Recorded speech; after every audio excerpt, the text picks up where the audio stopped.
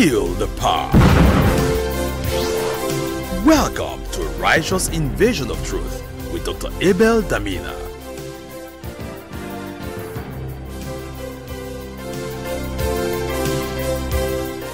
Welcome to the ever increasing word feast. I'm excited to welcome you, friends and family, right here on Facebook, YouTube, and all our social media handles. Abel Damina is my name. Listen, the truth of the word of God is when God's word is preached and taught, God's power to save is made available. Brother Paul says, I'm not ashamed of the gospel of Christ. It's the power of God unto salvation. I'm honored to serve you grace today to bring you clarity of teaching from the Word of God. Invite a friend, a loved one, create watch parties, tag people, because the Word is going to come very hot and powerful today. You know, there's a mandate of God on my life to reintroduce Jesus to this generation, equipping the believer to know who you are in Christ, what you have in Christ, and what Christ can do through you. It is with that mandate in mind that this message is coming to you right now. It will change your life forever. However, remember the scripture tells us the time shall come when they shall not endure sound doctrine. The Greek word hugiaino, wholesome doctrine. There's an endurance required. So as you listen, please painstakingly and patiently listen to the teaching of God's word. Don't listen with a critical mind. Listen with a mind to learn. You know, Jesus said, Learn of me, for I am meek and lowly of heart, and you shall find rest. So there's a meekness required. Brother James says, with meekness, receive the engrafted word, which is able to save your soul. There's a meekness required, and there's endurance required where sound doctrine is concerned. So you want to patiently follow the teachings. Most of my teachings are in a series. So get ready to follow. And if there's anything you don't understand, be patient. The teachings will continue to explain themselves until you come to a place of understanding and clarity in the knowledge of Christ. One more thing to say with you today. If you're in an area where there's no Bible teaching church, where the message of Christ like this is preached, you can start one or you can join any of our campuses. Our campuses are extension houses of our local church where brethren come together and they are fed, they are taught, they take responsibility, they pray together, they reach out to the people in their community with the truth of God's word. Our campuses are lighthouses in nations and cities and communities where believers come together and they are taught the word of God by myself. And I'm excited if you want to be a part of what we're doing around your community or you want to start one. All you need to do is shoot me a mail today, Dr. Abel Damina at yahoo.com, and we shall guide you on what to do to either begin one campus or join another. It's not good for you to be in isolation. The Bible says, do not dismiss the assembling of yourselves together as the manner of some is. In prophecy, the word of God tells us that God will bring the solitary into families. You are a member of a family, and there is no family that does not have a gathering. Our gathering is our assemblage to be taught, to be equipped, and to become responsible for other people's growth. It's so important, and I'm looking forward to hearing from you today. Lastly, there's a plethora of books I have written that addresses so many issues of the Christian faith. They're all on the screen. Look at this. Today, you can order for a book or two or all the set by shooting an email to Dr. Abel Damina at yahoo.com, including today's message. You can order for the CD or the DVD. The entire essence is to nourish you, enrich you, and equip you with robust understanding of your relationship with Almighty God. I'm excited to be able to serve you. Fasten your seatbelts. Let me take you right now into a gospel adventure, into the service where the Spirit of our God is already moving. Happy viewing. Second Corinthians chapter 2, verse 14. Now thanks be unto God, which always causeth us to triumph in Christ, and maketh manifest the savor of his knowledge by us. Maketh manifest the savor of his knowledge by us. And the venue is in every place. Make it manifest the savor of his knowledge by us. The word triumph in Christ is an old word. It means the trophy of victory or the proof of victory. We are the proof of Jesus' victory. We are the trophy of Jesus' victory. That the victory that Jesus obtained, we are the proof of that victory. And because we are the proof of that victory, all that Christ did, he did it in us. So since all that he did, he did it in us, it is now our responsibility to take what he has done in us and turn it into ministry to others. We take what he has done in us and turn it into ministry to others. The finished work of Christ in us becomes now our ministry to others. Knowing who we are in Christ and what we have in Christ in turn becomes our ministry to share with other people, making manifest the savor of his grace. In Romans chapter 1 verse 16, brother Paul says, For I am not ashamed of the gospel of Christ. So the gospel is the gospel of Christ. For it is the power of God unto salvation. The gospel does not have power. The gospel is the power. It is the power. So the preaching of the gospel is the preaching of power unto salvation. That means the power of God can only be seen within the confines of salvation. The gospel is the power of God unto salvation. Outside of salvation, you can't see the power of God. The power of God only works within the framework of salvation. And the gospel is a conveyor of God's power. The gospel is the power of God unto salvation. God's desire is to have all men to be saved and to come to the knowledge of the truth. In Romans chapter 10, brother Paul says, My heart desire for Israel is that they may be saved. For I bear them record that they have a zeal of God, but not according to knowledge.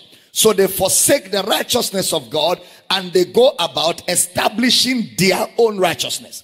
The gospel is the power of God unto salvation. Therein is the righteousness of God revealed. So the preaching of the gospel is the revelation of God's righteousness. The righteousness of God, not the righteousness of man. So the gospel is predicated on what Christ has done. The gospel, the preaching of the gospel is predicated on what Christ has done.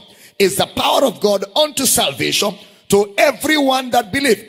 Therein in the gospel is the righteousness of God revealed. So the preaching of the gospel is the revelation of God's righteousness. The revelation of God's righteousness. The revelation of God's righteousness. The more of the word you know, the more of the word you know, the more stable and effective you will be in sharing the gospel. The more of the word of God you appreciate, the more of the word of God you appreciate, the more effective you will be in sharing the gospel. Let me take you through Brother Peter. Let's travel together through Brother Peter. Write this down in Acts chapter 2 Acts chapter 3, Acts chapter 4, Acts chapter 5, Acts chapter 8, Acts chapter 10, Acts chapter 11. You will see that there was a difference in Peter's sermon. The more you grow in the knowledge of the word of God, the more effective you're preaching. The more you grow in the knowledge of the word of God, the more precise, the more accurate, the more clearer your message the more you grow in the knowledge of God's word. It got better for Peter as he grew. He became more accurate in his preaching. Because the more you hear the gospel, the more you share the gospel, the more precise you become. The more you hear the gospel, the more you share the gospel, the more precise you become. The more you hear the gospel, the more you share the gospel, the more precise you become. Some of us, when we got saved, you can spend six weeks trying to preach to one person.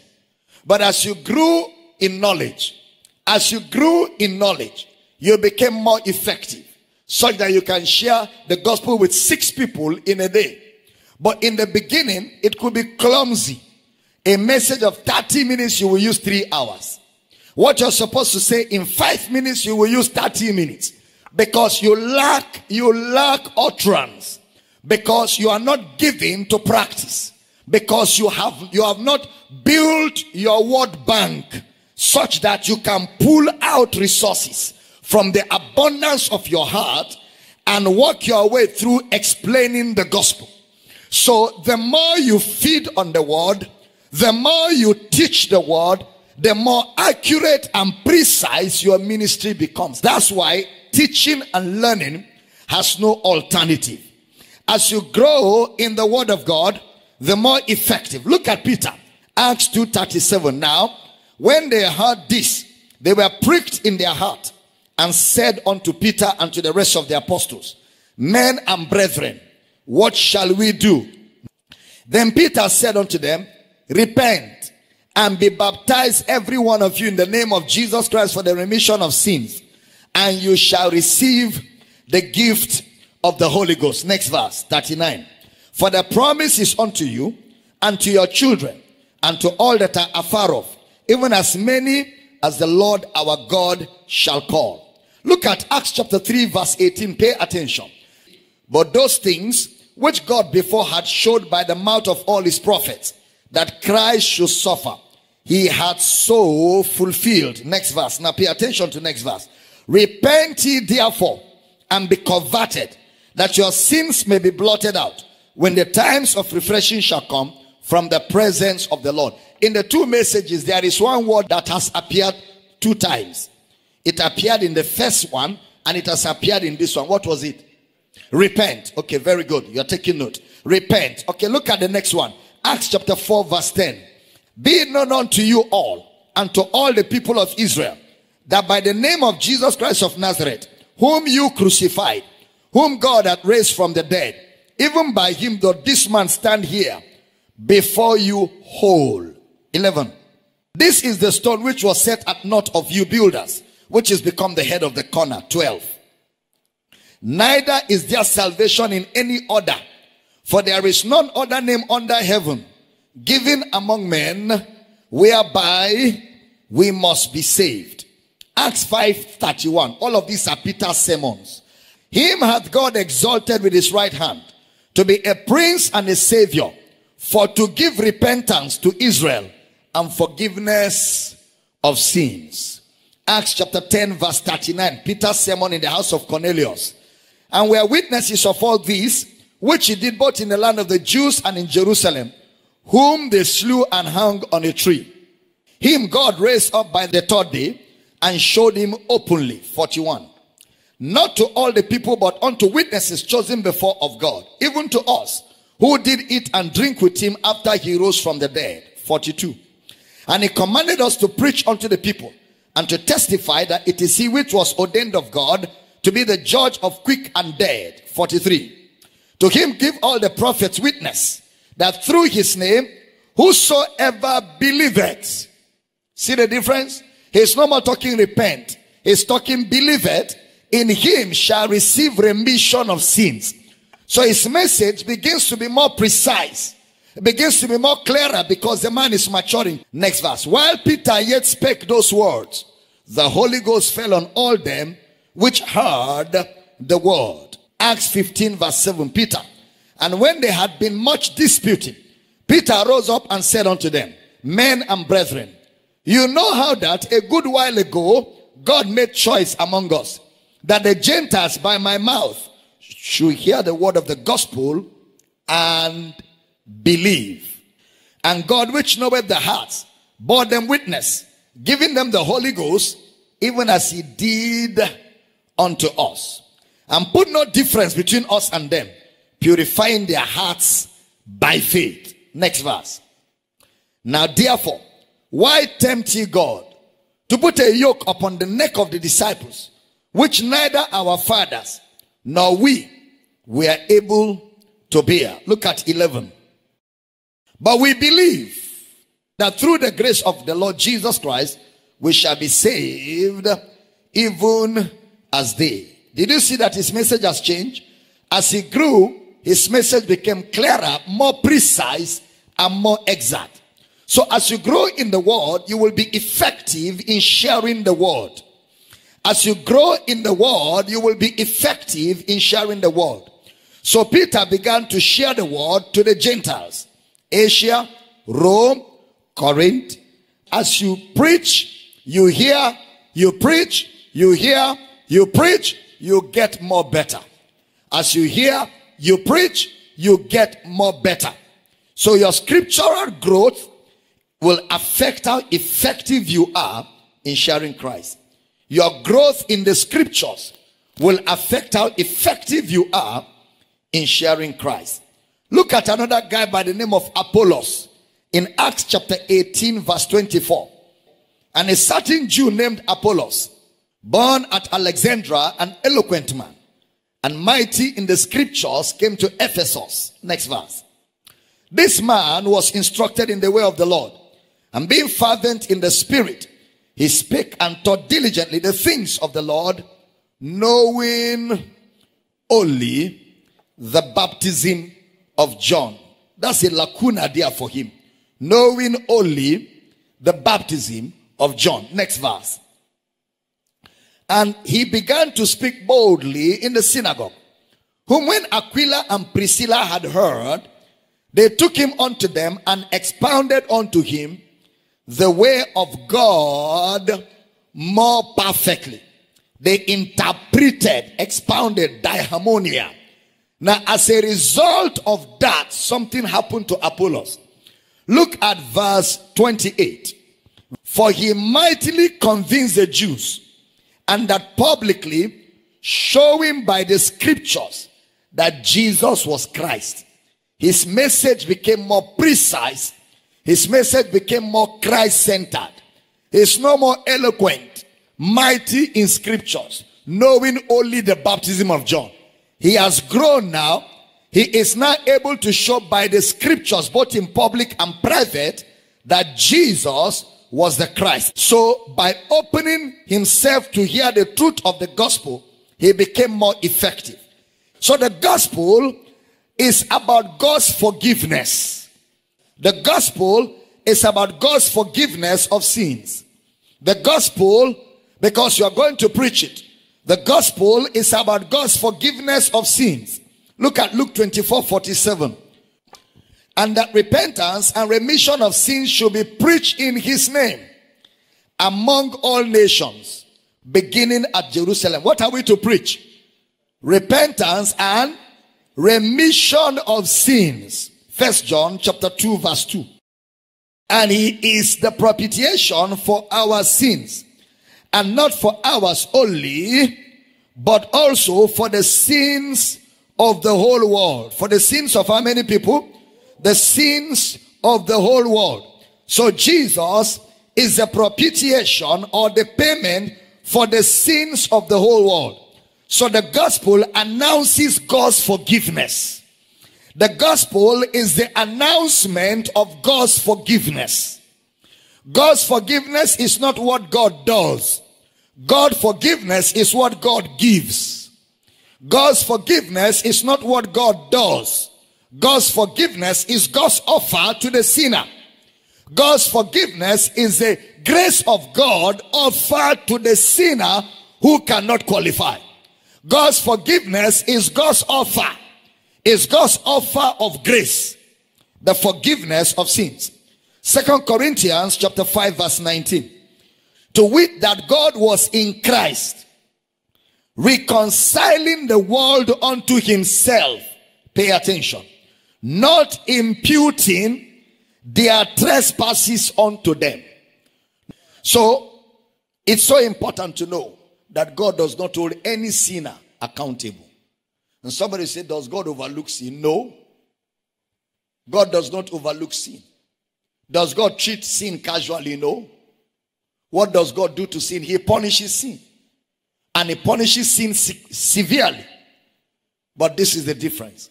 He punishes it on himself on our behalf. So faith in him frees us from sin and its consequences. Is it clear here? Right. Now, in evangelism, you must emphasize that. The second thing you must emphasize here is there is a term that is often used in evangelism. Give your life to Christ. Give your life to Christ. Give your life to Christ. That term is not biblical in salvation. That term is not biblical in salvation. In salvation, you don't give. In salvation, you receive. John 1 12. As many as receive him, to them gave he power to become the sons of God. John 1 12. As many as receive him, so in salvation, you receive God's offer. In salvation, you receive God's offer. In salvation, you don't give God anything. You believe and receive. John 3:16. For God so loved the world that he gave his only begotten son that whosoever whosoever believeth in him should not perish but have everlasting life. But have ever so in salvation you don't give your life to Christ. You have no life to give Christ. A sinner is dead. Ephesians chapter 2 verse 1 and you have he quickened who were dead in trespasses and sins. A sinner is dead. He is dead to God and dead to righteousness. So a sinner has no life to give. Rather, a sinner receives God's offer. John 6 47. Verily, verily, I say unto you, he that believeth on me hath everlasting life. So salvation is to receive what God offers. When you preach and evangelize, you must always use the right words. You must always use the right words. When Philip went to Samaria, they gave report and said, Samaria had received. Acts 8 14. Now, when the apostles which were at Jerusalem heard that Samaria had received the word of God, Samaria had what? Received. So in salvation, you receive. You don't give. We don't give our lives to Christ. You receive life. You don't give life in salvation. You receive life. He is the one that quickened us. We didn't quicken him. Ephesians chapter 2 verse 5 and 6. Even when we were dead in sins, had quickened us together with Christ. By grace you are saved. Look at the next verse. And hath raised us up together and made us sit together in heavenly in Christ. So in salvation, you don't give your life. He is the one that gave his life. Romans chapter 5 verse 8. But God commended his love toward us in that while we were yet sinners, Christ died for us. So God gave his son. You receive his son.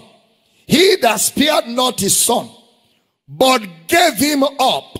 Romans chapter 8 verse 32. He that spared not his son, but delivered him up. So it is God that gave his life for us.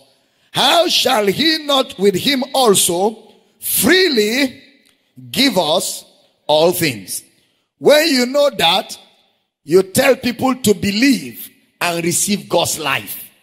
Believe and receive God's life. Don't give your life. You don't have life. When you give people an impression that as salvation they are giving God something, you make them come to God with a performance mentality. You make them come to God as if they are doing God a favor. You are not doing God a favor, so you are not giving him something. Rather, he is doing you a favor, he is giving you himself. I am come that you may have I am come that you may have life. So in salvation, we don't give God. In salvation, we receive from God. Colossians 3 4. When Christ, who is our life, shall appear. When Christ, who is our life, shall appear, then shall you also appear with him in glory. So in salvation, we receive God's life. We receive God's offer. Christ comes in to give us life. The second thing you must take note of in preaching is that the gospel is not asking people to obey God. The gospel is not asking people to obey God. The gospel is not asking people to follow God. I have decided. My, my singing ministry is on vacation today. To follow Jesus. So, in salvation, it's not, I have decided to follow Jesus. Mm-mm. In salvation, it's not the wall behind me, the cross before me. Eh, that's not salvation. The problem with the church today is We teach discipleship as salvation, and we teach salvation as discipleship.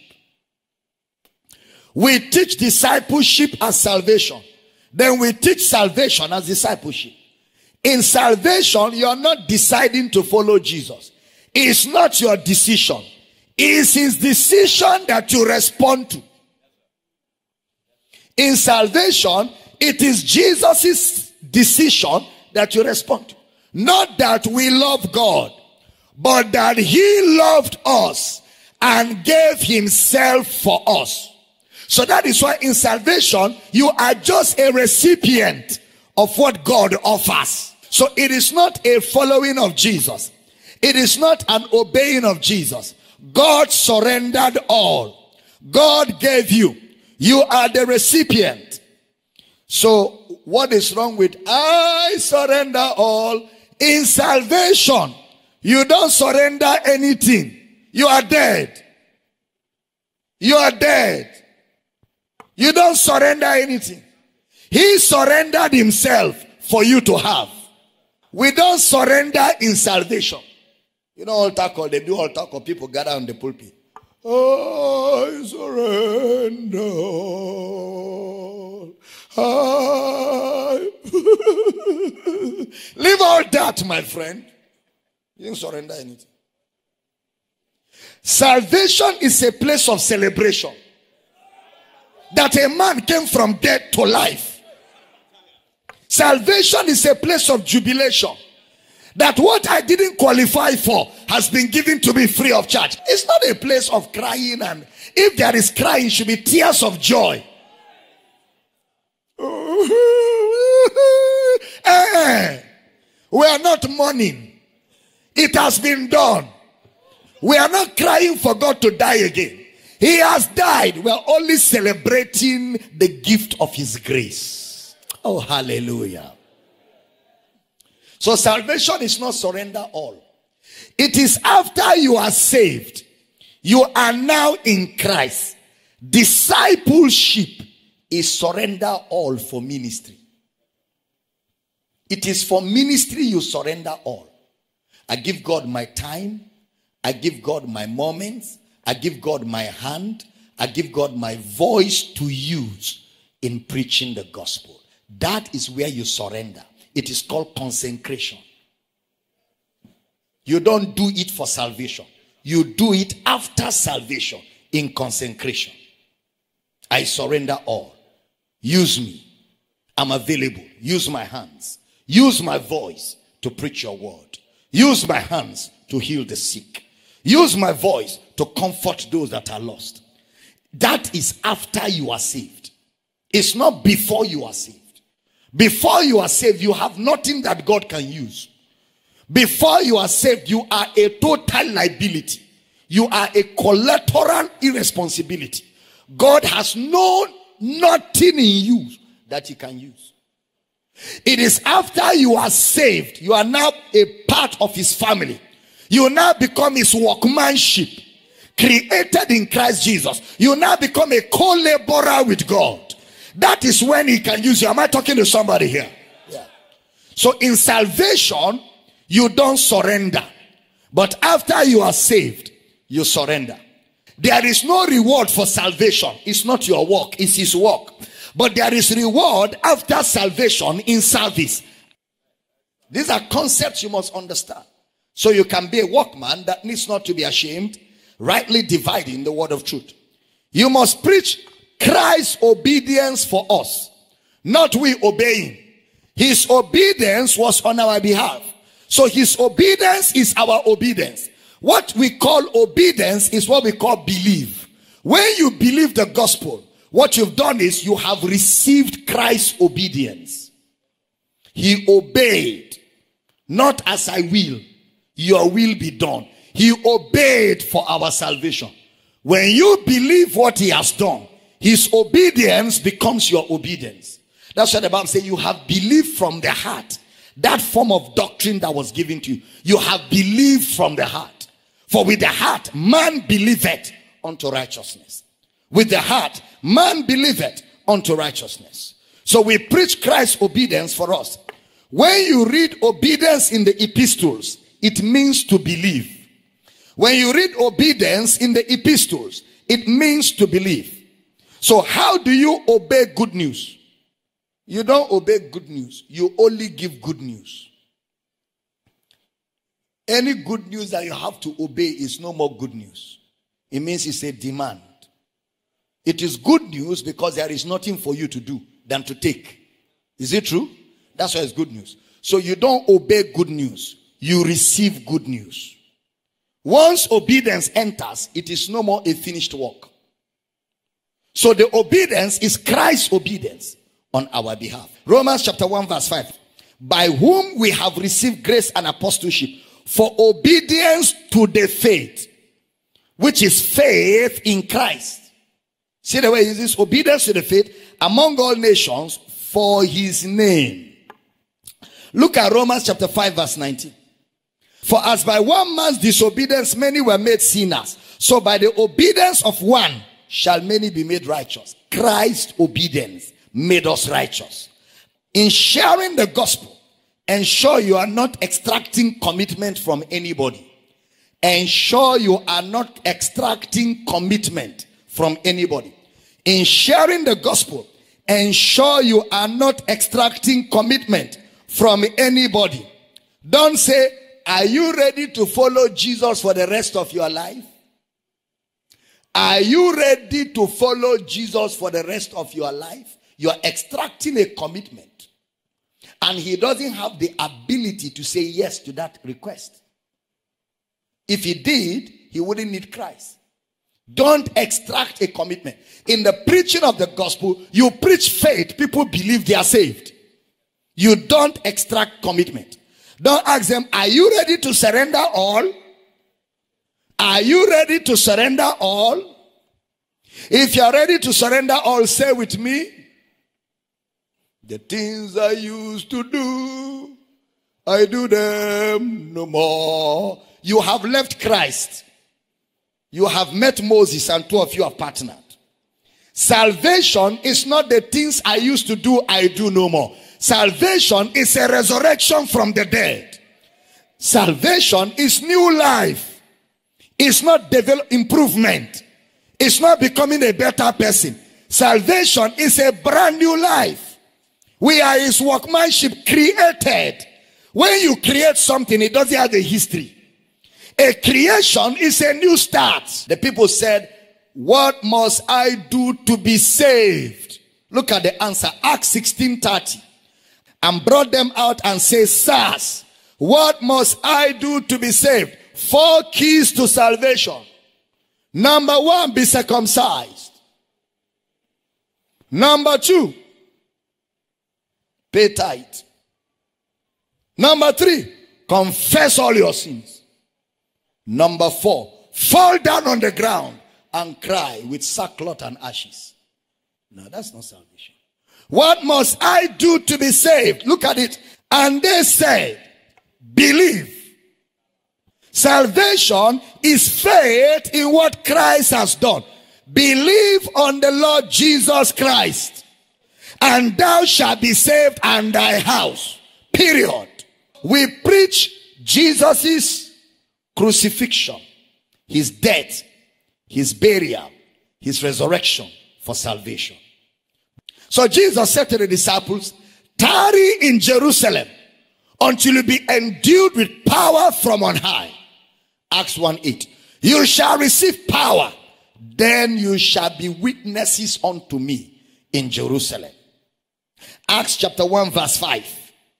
For John truly baptized with water, but you shall be baptized with the Holy Ghost not many days hence.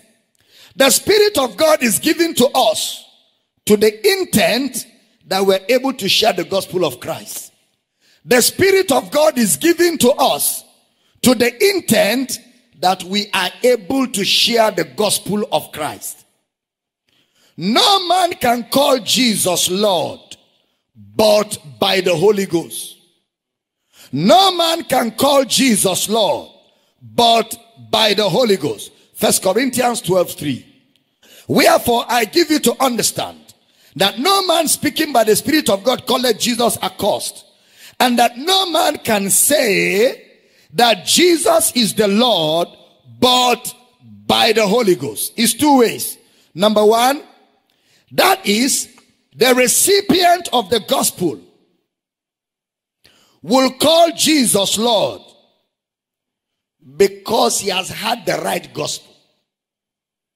The recipient of the gospel will call Jesus Lord because he has had the right gospel. So this is this is it. It takes the spirit of God which we have to share the gospel. It takes the spirit of God which we have to share the gospel. Do you have the Holy Spirit? Do you have the Holy Spirit? If you have the Holy Spirit, shout Holy Spirit. It takes the Holy Spirit which we have to share the gospel. Number two, it takes the Spirit of God, which you have for your recipient to believe the gospel.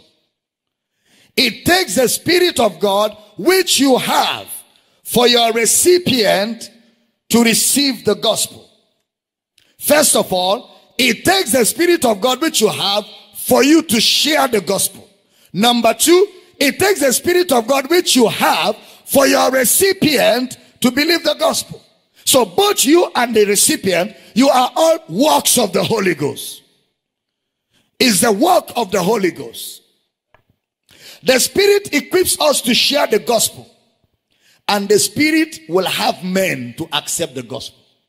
Sharing the gospel and having men believe the gospel is not by might, nor by power, but by the Spirit.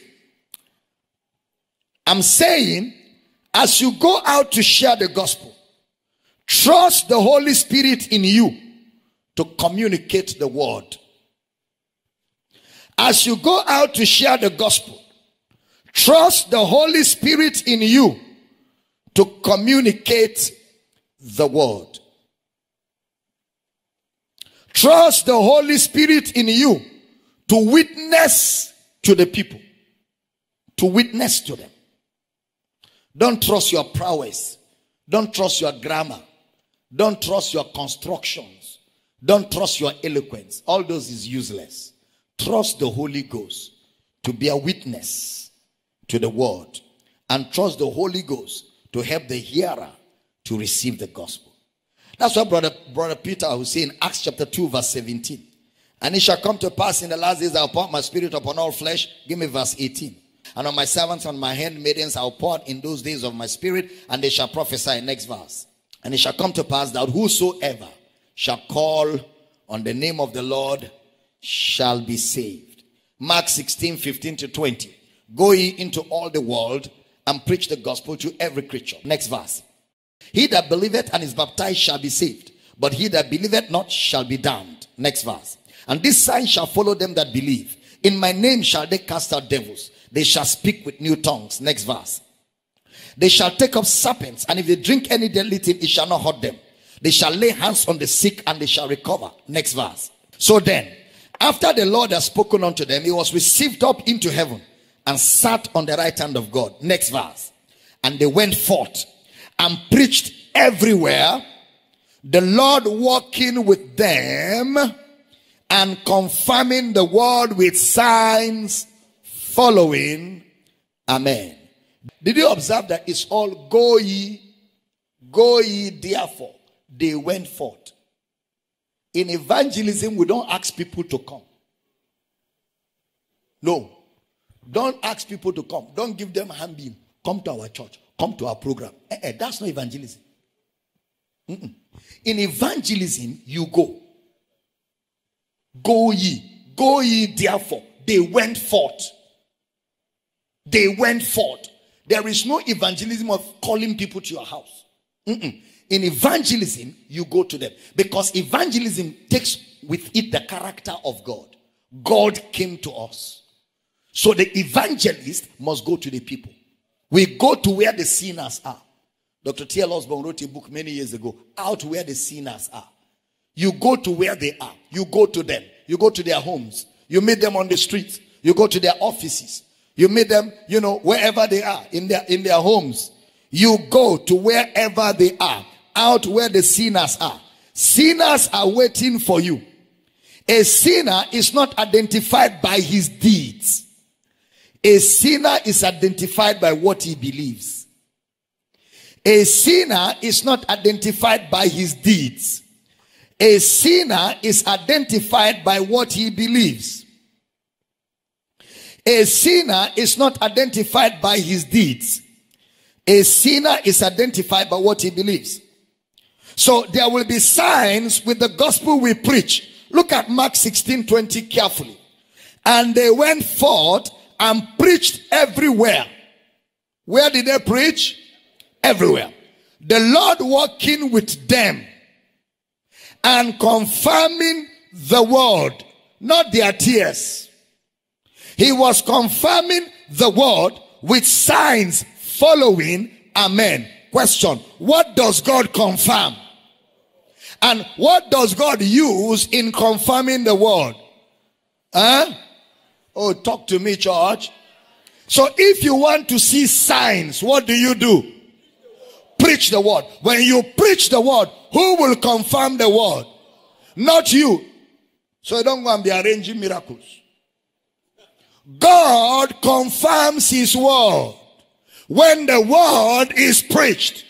And sometimes you may not even know that miracles have happened because it's not showmanship. You may not know. Only the person who you are preaching to knows something has happened.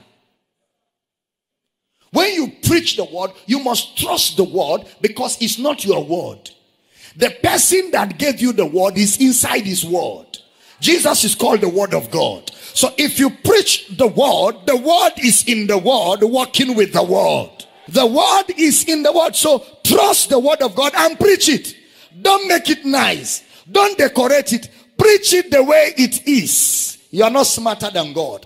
Preach it the way it is. Let him that owns the word confirm his word. What does he confirm his word with? Signs. Preach the word. Preach it with confidence. Preach it by faith. Preach it by the power of the Spirit and trust the Spirit. So listen, there will be signs with the gospel we preach. There will be signs with the gospel we preach. Signs include demonstration of miracles. Demonstration of miracles.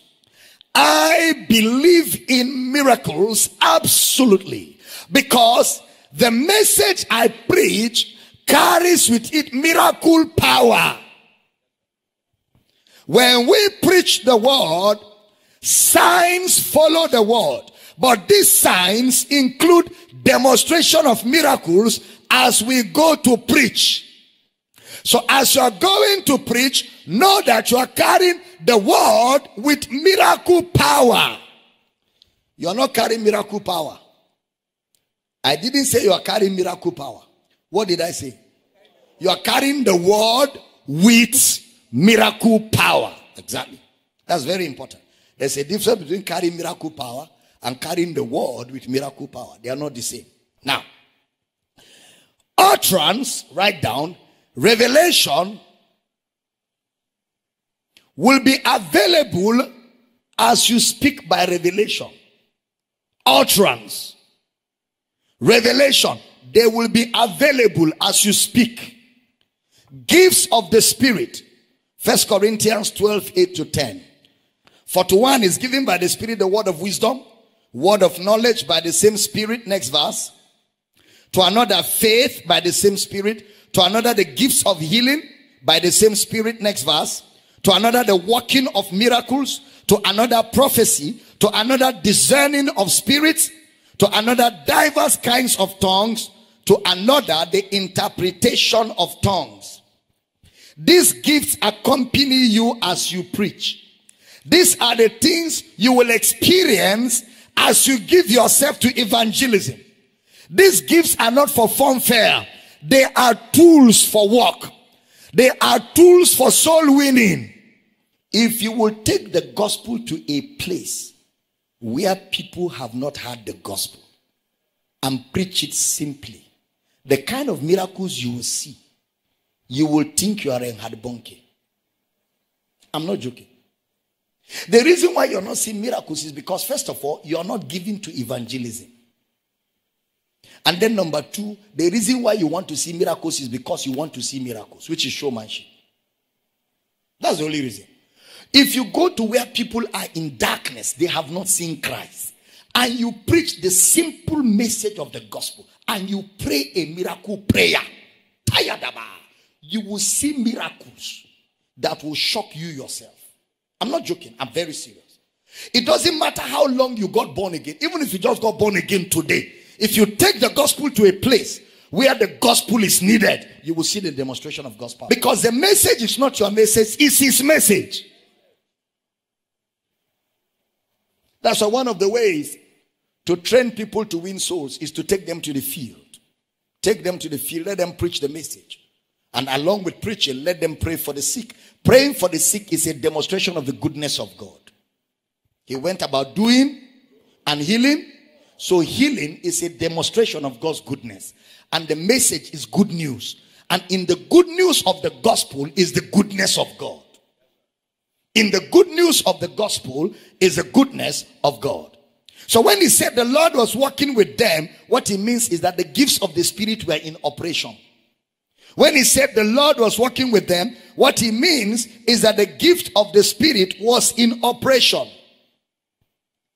So the gifts of the Spirit are present anywhere the gospel is preached. Listen to me. You can write this down. You have never lacked ability to communicate the gospel. You have never lacked ability to communicate the gospel. You can write it like, I have never lacked ability to communicate the gospel. You just didn't notice that you had that ability.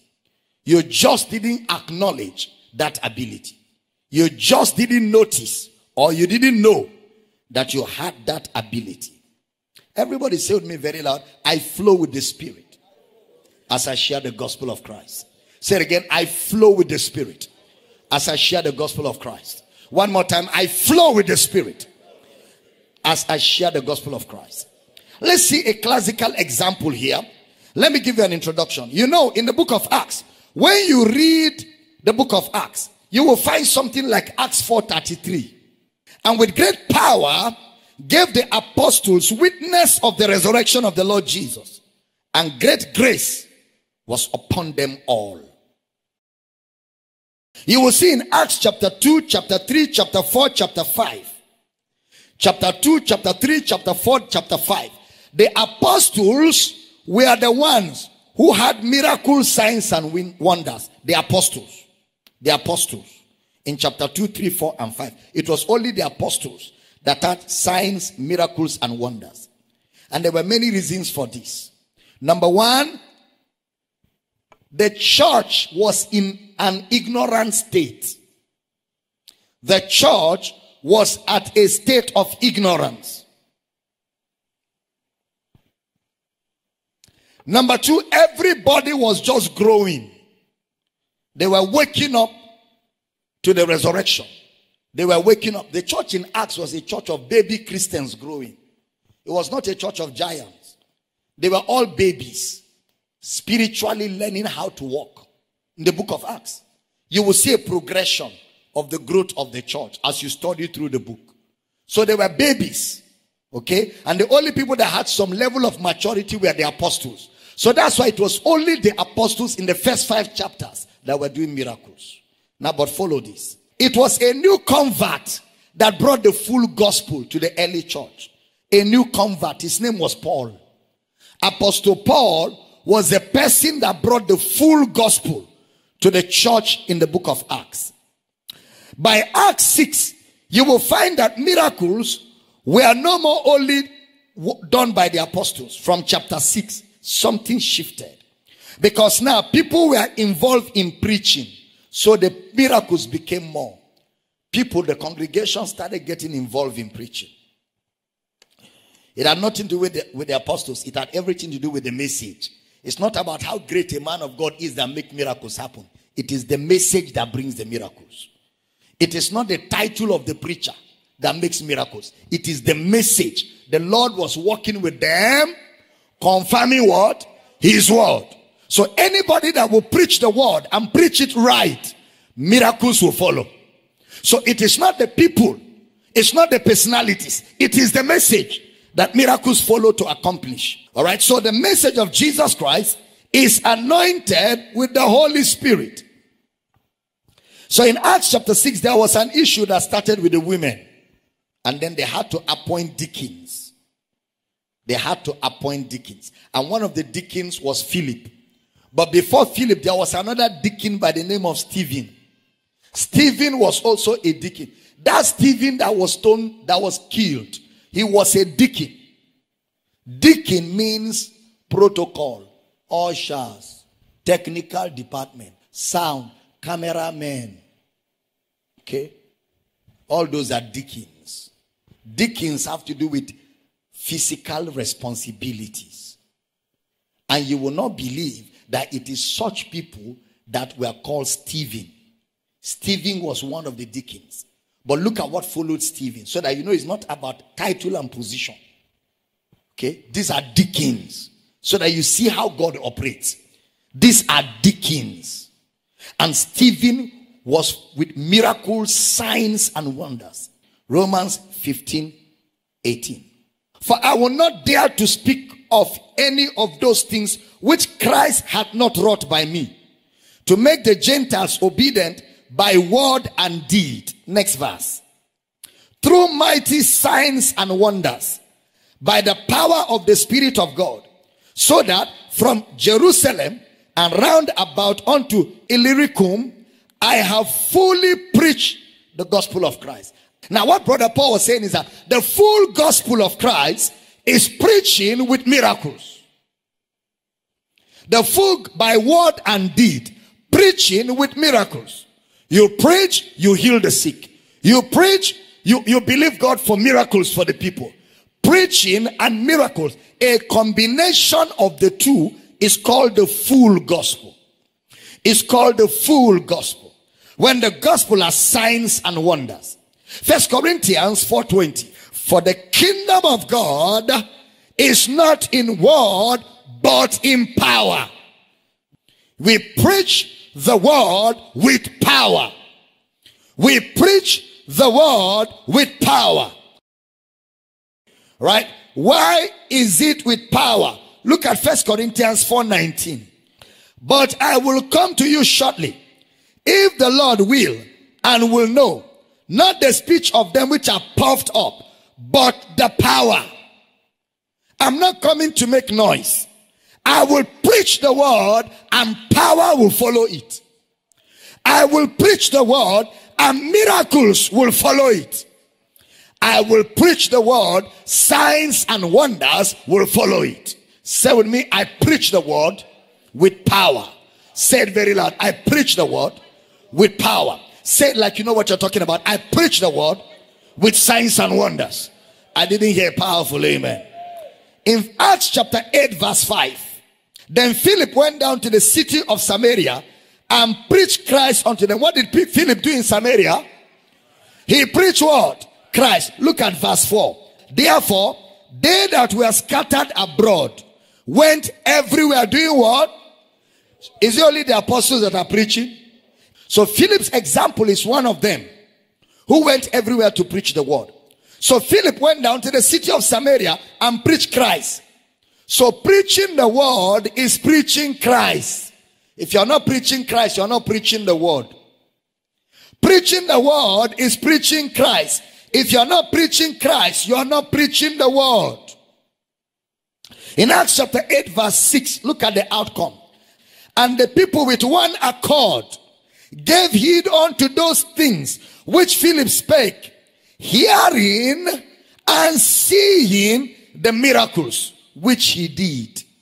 He preached and accompanying his preaching, miracles. Accom- the first thing is preaching.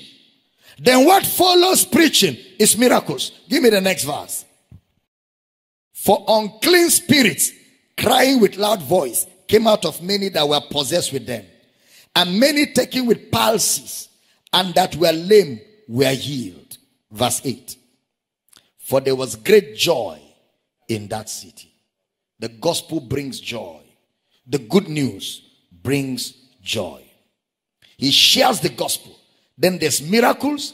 Follow me. Follow the sequence. He shares the gospel. Then there's miracles, signs, and wonders. Before miracles, we find utterance. He preached. Before miracles, we find utterance. He preached. Then after utterance, signs and wonders. After utterance, signs and wonders. And this is Deacon Philip. There was someone else called Stephen, another deacon. Acts chapter 6, verse 8. And Stephen, full of faith and power, did great wonders and miracles among the people. These are deacons. These are deacons. These are not apostles. These are brothers in the church. These are brothers that are passionate. Brothers that are on fire, serving the Lord.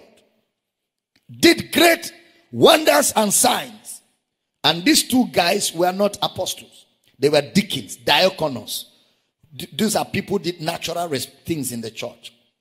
Acts chapter 8. They saw miracles.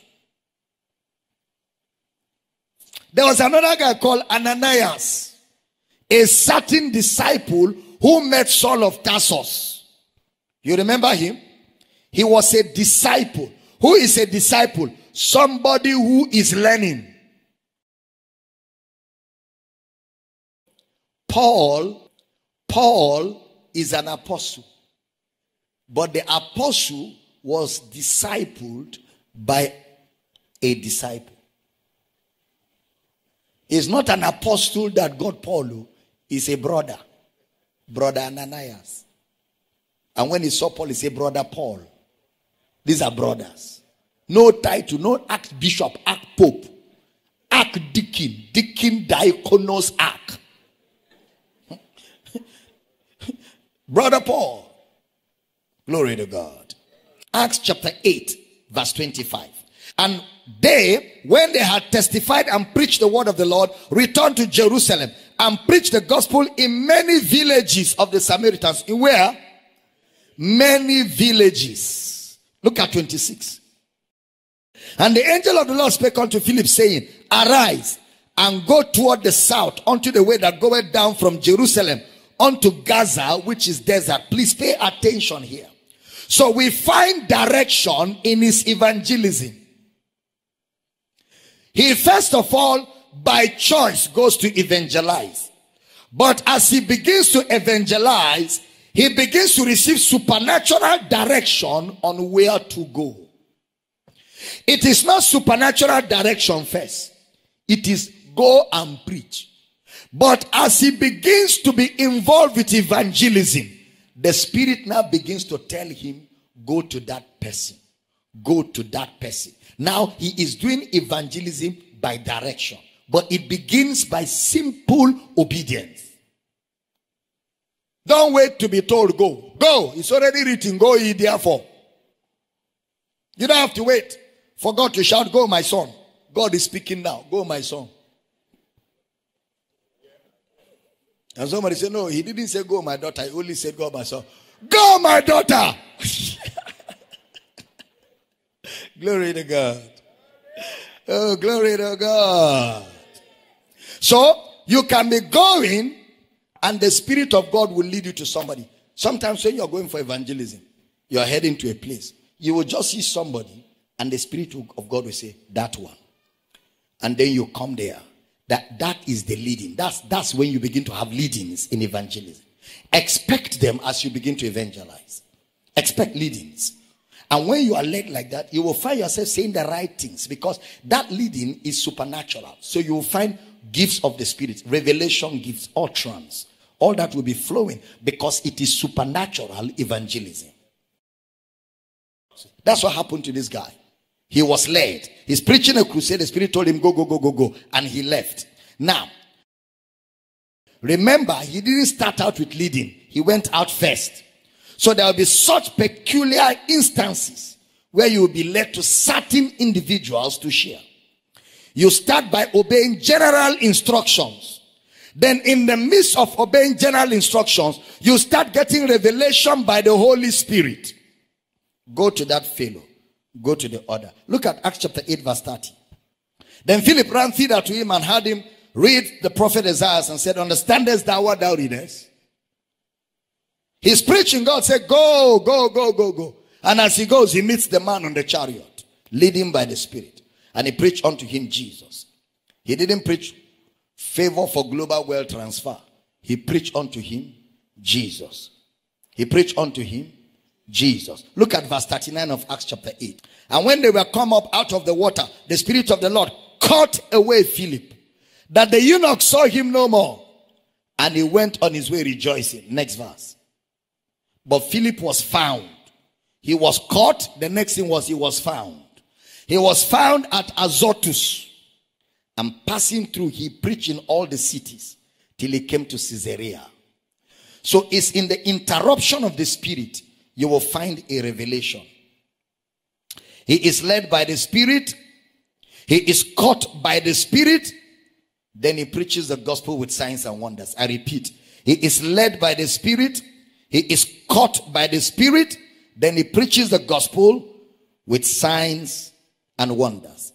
Listen carefully. When we preach the gospel of Christ by the Old Testament understanding, preaching is prophesying. By the Old Testament understanding, when you preach, you are prophesying. When you speak by the Spirit, it's actually prophecy. When you speak the word of God by the Spirit, which is what you do, you're actually prophesying. The gospel is not miracles. The gospel is not miracles. The gospel is a message. Within that message, there are miracles. The gospel is not miracles. The gospel is a message where a man believes that Jesus died, he was buried, and he rose again the third day. Let's not get carried away by signs and wonders. Signs and wonders do not equate salvation. The miracles and signs are to confirm the message. The message still has to be preached the message still has to be preached. And every one of us is equipped the same way with signs and wonders as we preach the message. Every one of us is equipped the same way with signs and wonders as he preaches the message. You preach the message of Christ, you will see power and glory. Blind eyes will open. I thought I would hear a good amen. Cripples will walk. Deaf ears will be opened dead situations will come alive. You just preach the word. The word is power. And there are instances also where you will minister to people and they'll be filled with the Spirit. You get them to speak in tongues. You teach them. You minister the word of God to them. And they'll be filled with the Spirit. Hallelujah. I said, Hallelujah. God calls Ananias, who is just an ordinary brother, to pray for Paul and give Paul, Paul foundation class. And Paul became the chief of all apostles. So every one of us can lay hands on the sick. Every one of us. We all are believers. We lay hands in on the sick as we go on the mission of the gospel. Say with me, I heal the sick by the Holy Ghost. Say with me, I heal the sick by the Holy Ghost. Say with me, I preach the word by the Holy Ghost. Say it again, I preach the word by the Holy Ghost. Say with me, I receive boldness to preach the word by the Holy Ghost. Say, I receive power to preach the word by the Holy Ghost. Say, these signs follow me as I preach the word. I heal the sick. I cast out demons. I raise the dead. I cleanse the lepers. These signs follow me as I preach the word. Rise on your feet and say with me very loud, I am a proof producer. I produce proof as I preach the word. I preach the word. I have utterance. Shout it very loud. I have utterance. I have boldness. Signs and wonders. Follow me. Signs and wonders. Follow me as I preach the word. I preach the word with boldness. Say, I receive boldness. Say it again. I receive boldness to preach the word in Jesus' name. I didn't hear a powerful amen. Lift your right hands to heaven. Father, I pray for everybody under the sound of my voice in this building. I stir everyone up here to, to evangelism, discipleship. I stir up everyone here to obedience to the call of the Great Commission. And I decree that every excuse is terminated. Your people are stirred up, your people are equipped, your people are built up. And as your people go forth to preach the word, these signs follow the word in the name of Jesus. Wherever you're hearing the sound of my voice, as your amen is coming like thunder, receive boldness. Receive boldness. Receive boldness. Receive boldness. Receive boldness. And with great grace, you will make manifest the resurrection. These signs follow you. Receive utterance. Receive utterance. Receive utterance. In the name of Jesus. Father, we rejoice.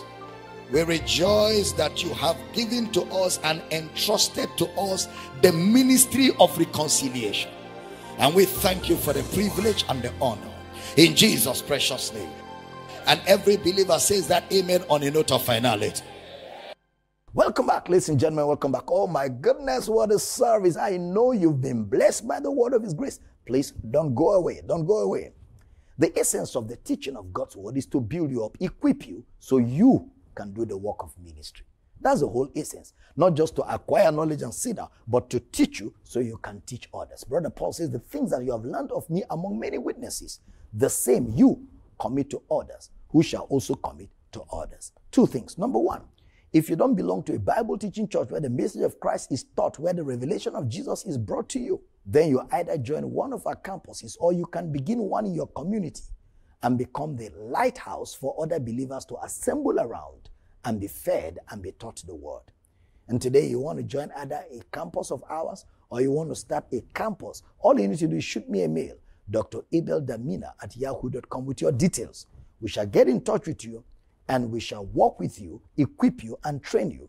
And we shall walk you through establishing a campus or being a part of one of our already existing campuses in your locality. Lastly, I've written a number of books to address doctrinal issues and to answer questions that you might have. They're on the screen right now. Today, if you require any of those books, you want to order for them, or all of them, or you want to order for our CDs or DVDs, shoot a mail also to Dr. Abel Damina at yahoo.com requesting for the materials. And our office will get in touch with you and see how they can work out getting the books to wherever you are around the world. I'm excited that I'm able to be a blessing to you today. Remember, I'm live here on Facebook every morning at 10 a.m. GMT plus 1, 12 noon GMT plus 1, 6 p.m. GMT plus 1, and 10 p.m. GMT plus 1. Many times a day, feeding you, feeding you, feeding you, equipping you because we want you to come to a place of robust understanding of an effective relationship between you and God. Share with other people as you look forward to continuing to be a blessing in your life. And until I see you in the next broadcast, enjoy the rest of your day and be blessed. Amen. Amen to your victory station.